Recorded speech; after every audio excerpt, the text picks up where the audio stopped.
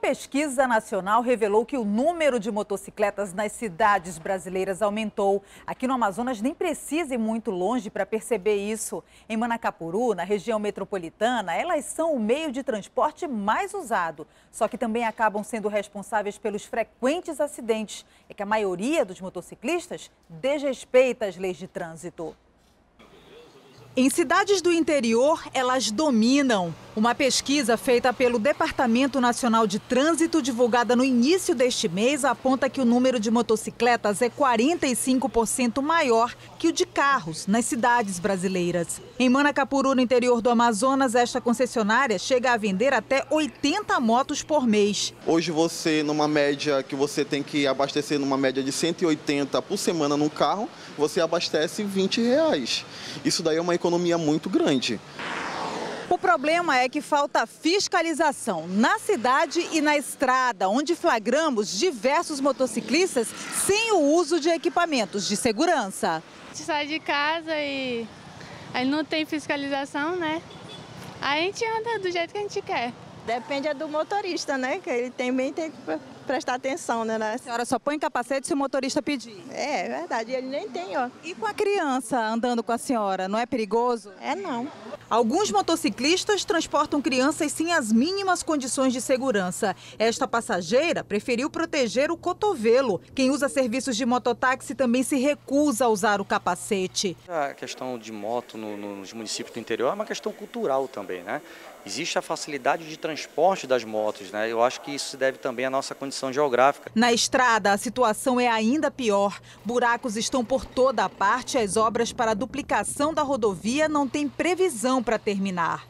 Uma grande extensão da obra de duplicação aqui da rodovia AM070 permanece desse jeito, ó, completamente parada. Boa parte do local já foi desmatado aqui, mas por enquanto não há trabalhadores. A obra começou em 2013, está custando mais de 300 milhões de reais aos cofres públicos e não há previsão de entrega para esse ano. Acidentes são comuns por aqui. Uma atleta de apenas 14 anos morreu em um acidente de moto na rodovia M70. A jovem chegou a ser socorrida e encaminhada ao hospital de Manacapuru, mas não resistiu. Quem mora às margens da estrada reconhece os perigos.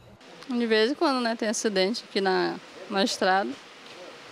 Por causa da sinalização também. Muita alta velocidade né, de noite.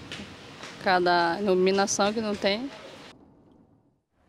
Em nota, a Secretaria de Infraestrutura do Estado diz que trabalha em um contrato de manutenção, conservação e recuperação com ações de tapa-buracos nos trechos mais críticos da rodovia, onde a obra de duplicação ainda não chegou, para garantir a trafegabilidade da pista e a segurança dos motoristas. O contrato tem prazo de vigência até outubro deste ano. A secretaria informou ainda que a duplicação da M70 tem previsão de entrega apenas para 2019.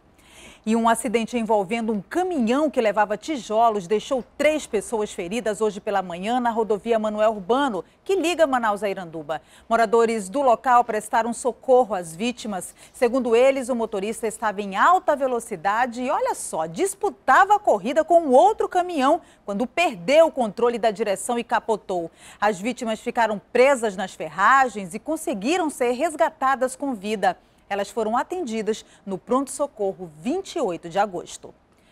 A greve dos caminhoneiros terminou, mas ainda reflete em alguns setores. A produção de milho, por exemplo, caiu e o racionamento do produto deve continuar até o mês que vem.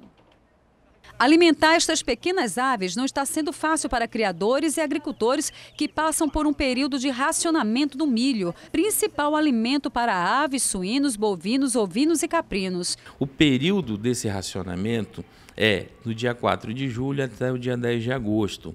Aqui no galpão da Conab tem mais de 600 metros quadrados. Aqui tem espaço para acondicionar mais de 2 mil toneladas de milho. Só que nesse momento, por conta do racionamento, tem pouco mais de 300 toneladas de milho para serem vendidas para todos que procuram aqui a Conab.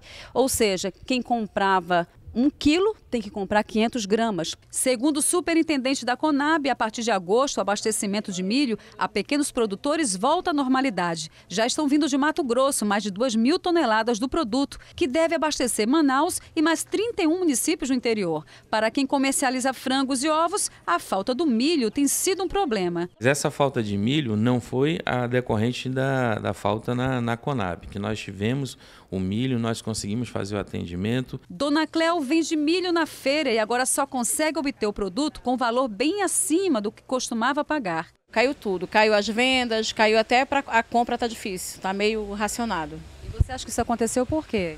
Acho que devido à greve, devido a muita coisa que aconteceu, então estabilizou assim, deu uma parada. Já o seu Fernando foi em busca do milho com preço mais acessível, direto no galpão da Conab. Não conseguiu a quantidade suficiente para atender a demanda. Cai a tua produção, né? E você vai ter que, que adquirir, comprar o teu, os teus insumos, né?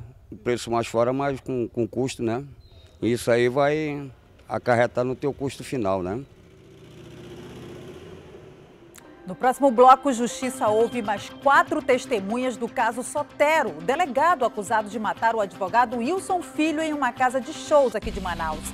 E ainda, universitários da UFAM desenvolvem prancha sustentável que pode ajudar ribeirinhos da região. É já já.